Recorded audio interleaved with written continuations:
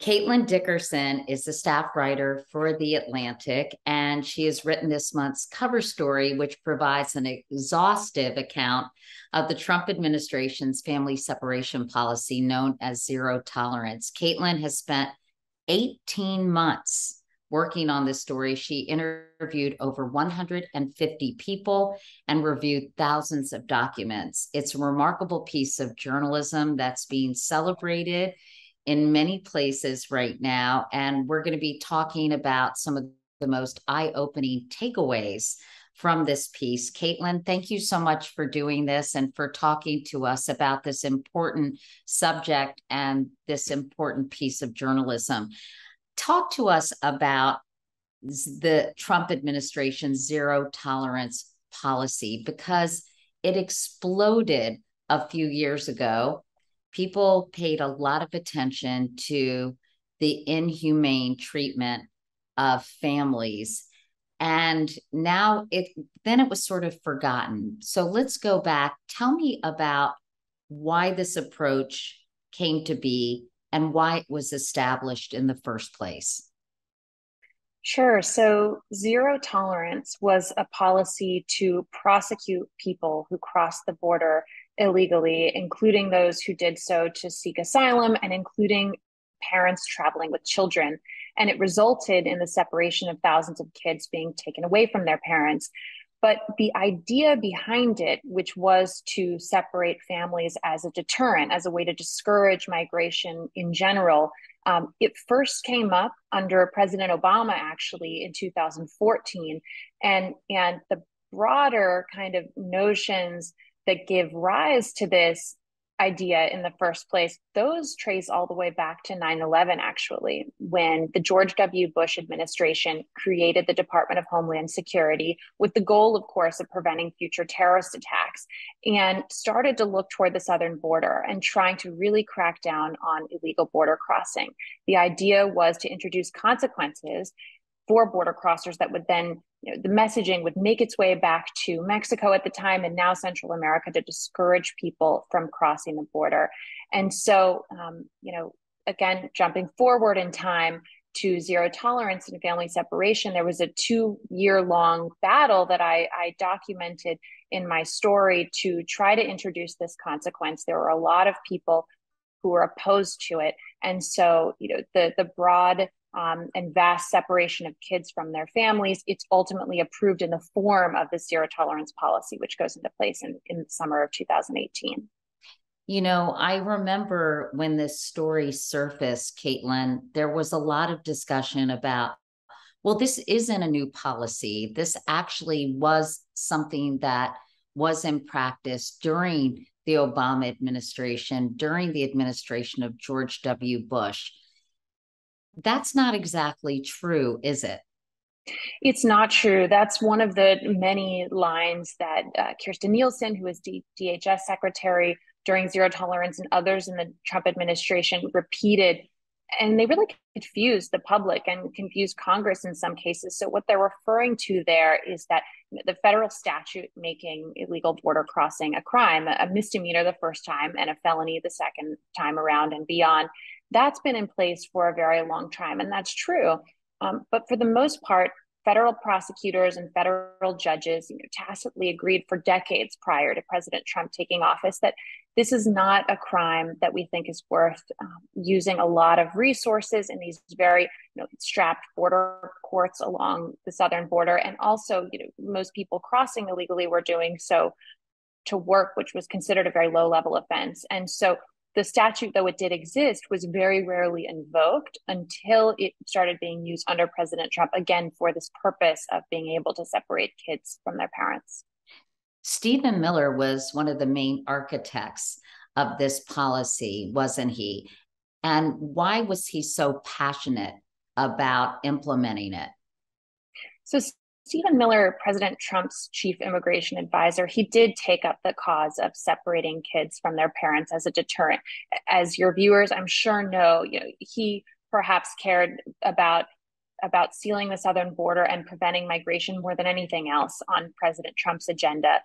But it wasn't his idea originally. And, and so I try to trace that back to a man named Tom Homan. He was the head of ICE under President Trump. He'd been in border enforcement since he was in his 20s. And he came up with this idea and proposed it to President Obama. Again, thinking that if we introduce as a country a consequence this powerfully harsh, that perhaps it would discourage people from trying to cross the border and limit those numbers. I guess the question is did it? Was it a deterrent for illegal immigration across the border, separating parents from their children? Did word travel back to these communities in Mexico and, as you said, in Central America, where so many immigrants were coming from? No, and in fact, you may recall that uh, following zero tolerance, border crossings under President Trump reached record high levels. You know, after this unprecedented attempt to try to minimize them, you, you had the opposite impact. And there's a lot of evidence going back to the very beginning, you know, 9 11 and prevention by deterrence, that, that deterrence doesn't really impact immigration in a meaningful way when you compare it to these other long range trends that are much more important you know the economic factors in the United States and in the home countries people are leaving behind, public safety, and just general opportunities, those tend to impact immigration more than anything else. Um, very specifically, deterrence has been shown in some studies to impact at an on an individual level. You know, Katie, if you're apprehended crossing the border illegally and you are prosecuted, your personal likelihood of crossing again may go down but it, it's nowhere near on the level of impact as things like economics. And of course, it comes with these very serious consequences and, and downsides for people's lives. Let's talk about those. Let's talk about some of the tragic outcomes that we heard about at the time, Caitlin, but you uncovered even more in the course of your reporting family separation, you know, it's actually something that scientists use when they're researching medication to treat mental health, um, you know, and to treat mental illnesses. They, uh, in, those studies are done with mice, and they actually use maternal separation as kind of the gold standard for mimicking trauma um, so, you know, migrants crossing the border very often are, are fleeing very harrowing circumstances, and it can be hard to differentiate and, and sort of rank one person's challenges to another. But by and large, um, experts, even prior to zero tolerance being put into place, said that separating children from their parents would would cause harm that is, is on a level of its own. Um, even families that have been reunited are still struggling very seriously today. Kids with developmental delays, you know, bedwetting, you know, just insularity, not wanting to leave home, constantly living in fear that their parents might be taken away from them again. And parents are struggling too. And therapists have pointed out to me very often they're not dealing with their own mental health because they're so focused on trying to rebuild their relationships with their kids and help them get better. And, and of course, there we're talking about families that have been reunited, but you have hundreds that have not been reunited. And you have over 150 kids who, to this day, four years later, their parents still haven't even been found. Can you explain what would happen to these children after they were taken from their parents? We heard about it at the time about them being kept in these sort of makeshift structures, um, you know, sleeping on the ground. We heard recordings, I believe, from NPR of one child, um, just heartbreaking sounds of of a child traumatized and and in anguish. So, what would happen to these kids? those recordings were obtained by ProPublica, and they were among the only record that we had of what happened to separated parents and children, under than other than their own testimony. You know, it, should, it was almost never corroborated by government officials. But I interviewed for my story a Salvadoran consular worker who came forward, Nerys Gonzalez. She was based in a, a CBP processing facility, the Customs and Border Protection, along the southern border, and she watched these separations take place. So she said you know, children and their parents would arrive on buses at this facility. They were um, ushered out of the buses, and then border patrol agents would move in and and begin to take the kids away from their parents often not really explaining what was going on maybe saying you know simply that they were under orders from president trump to take kids away and nothing more than that as you can imagine very quickly these scenes escalated. They were very emotional and even you know, near violence. She said she watched as kids were literally being pulled, you know, on one arm by border patrol agents and on the other by their parents, you know, screaming and crying. She's still haunted by the the sounds just inside that facility of these children who were in such great pain. And from those facilities, you know, the parents were taken away to uh, facilities that are run by DOJ so that they could be prosecuted, as we discussed. And the kids were transferred into the custody of an entirely separate federal agency, the Health and Human Services Department, because of the way that their shelters for children work and the placements that they do. The children were often sent to states very far away. For example, a lot of caseworkers who I interviewed who cared for separated children you know, for my story, they were based in Michigan. And so you'd have a parent who's prosecuted in Southern California, Arizona, Texas, and then you have their child being sent to, to New York or to Michigan, for example. And, and that is part of why parents and children became really lost to each other and to the relative federal agencies caring for them, and why it took so long to get those families reunited after they were separated. What were some of the challenges? Obviously, they were many, many miles away, but did the system make it difficult to make these connections and to reunite these families?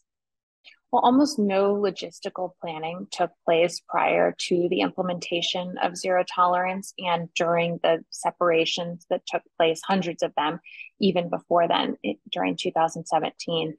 So that was one of the main findings of my investigation is that, you know, even though you had experts within the bureaucracy and the federal government, subject matter experts who got wind that this policy was being considered and debated and who are raising red flags and pointing out this very issue that we don't have a system for keeping track of where a parent is and where their child is when they're being detained by completely separate federal agencies, that we don't have a process for parents to apply or request to regain custody of their child after the parent had been prosecuted. You know, they warned that parents would be deported without their children, which happened in more than a thousand cases. That they warned of this is a quote from a government record potential future populations of US orphans.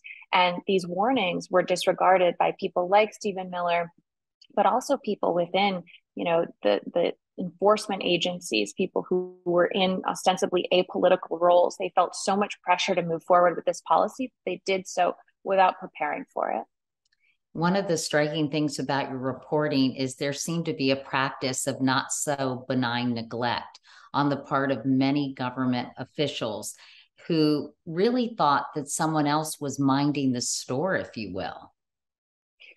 That's right. You know, I spoke to dozens of federal officials again in these apolitical roles, um, as well as some who were political appointees of President Trump, who said, you know, they very much oppose the idea to separate families, whether it was via prosecution or some other means.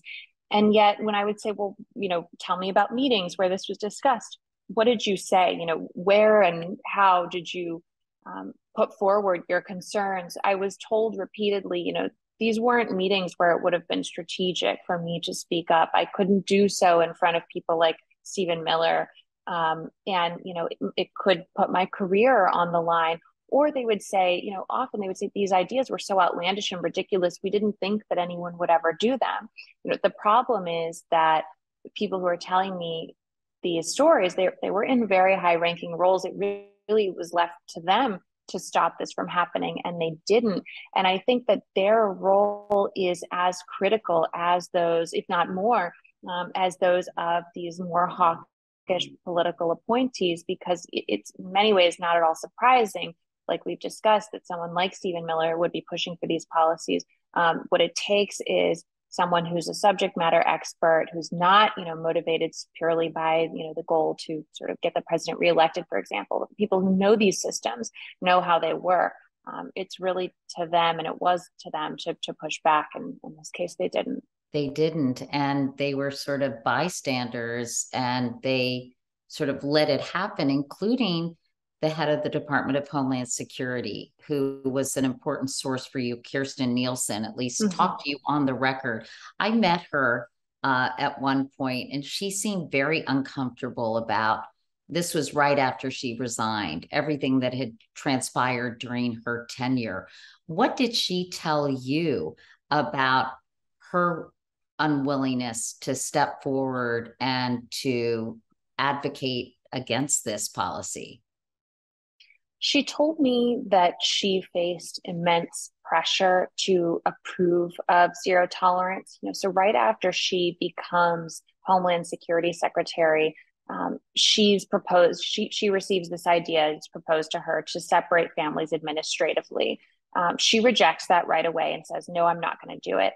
Um, but then this alternative sort of way of achieving the same end is proposed to her to prosecute parents, which would trigger a separation but doing so under a different guise, if you will. You know, she's very skeptical and she's saying, you know, do we have systems in place to prevent all these negative outcomes we've been discussing from happening? Has this been done before? Um, she seems to have been actually directly misled with regard to that question. She and really all of her advisors said to me that they were under the impression that parents had been prosecuted in substantial numbers in the past, that it had occurred smoothly and without issue under prior administrations. You know, a lot of people were misled and you asked me about that earlier in our conversation because because so many people were confused about that when zero tolerance finally came about. And so you know, she is the highest ranking law enforcement official to have signed off on this policy. There's no way around it. Um, but it's also important for us to understand that she didn't have good information. Um, she didn't have clear information. And that speaks to a breakdown in our government systems that exist, you know, and these are vulnerabilities that remain today, which is why I wanted to really explain exactly how these things are supposed to work and show what the consequences can be when they don't. But do you think these vulnerabilities were unique to the Trump administration and his style of governance? Or do you think you know do you do you think that this could happen in the biden administration as well? It doesn't seem likely to me but you tell me what you think. The biden administration has been unequivocal in saying that they oppose family separations uh, from the president to the homeland security secretary and on down. So i, I don't think we have any indication that uh, in the biden administration something like zero tolerance would be re-implemented um, the point is simply that, you know, these structures that we have in place, you know, a chain of command through which principles in our government, you know, cabinet secretaries, people with decision making power are supposed to be informed about the issues from people in the bureaucracy that exists like layers below them who know much greater detail than, than they possibly could at their high level. You know those systems apply to every policy that's introduced by our federal government. And so when they don't work you have policies that you know are not necessarily logistically feasible um, to not even say anything of their you know the ethics behind them being put into place why was Donald Trump so obsessed with this policy, do you think? Do you think he was just brainwashed by Stephen Miller and there was so much focus on building the wall and keeping the border secure that he would go to any lengths to to try to make that happen? My reporting suggests that it comes down to popularity. Um, President Trump understood, you know, from his early campaign rallies that talking about immigration and talking about you know, uh, very strict immigration policies was incredibly popular among his base.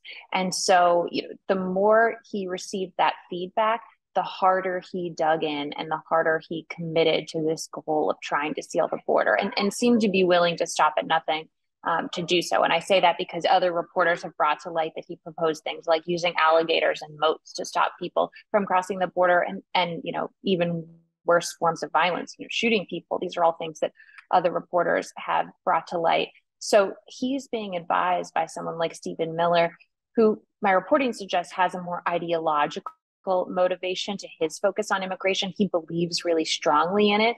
Um, Donald Trump seemed to care more about just holding on to his power and, and responded to that by doubling down on immigration and on these harsh measures like family separation so that he pushed very hard even after zero tolerance ended to re-implement it.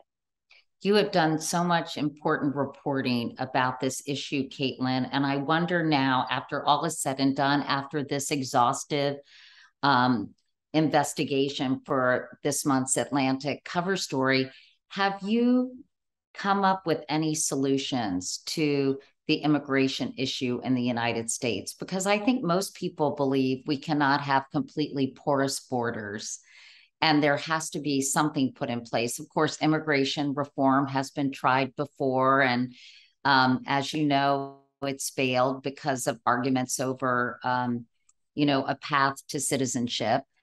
Um, but but now that you have so much information about this, what do you think should be done about the border in a way that's humane and yet also strong enough to deter too many people from crossing it? I think you need comprehensive immigration reform. And, and I've studied our immigration laws going back to the very founding of the United States. So I can tell you, Katie, um, it's never been easy. None of these laws have been put into place without a fight. But the fact is that our immigration laws have not been meaningfully updated in many decades, and they don't respond to the current geopolitical circumstances that are leading people to try to migrate to the United States. Um, at a baseline level, you know, you need to have processes that work for people who, you know, Congress and the electorate deems should be given access to the United States. We need an orderly system that that works. Right now, we have hundreds of thousands of immigration cases that are backlogged. You know, that's very clearly a system that doesn't work. You know, I've done countless stories about people applying for our asylum system and waiting for years for a resolution on their case.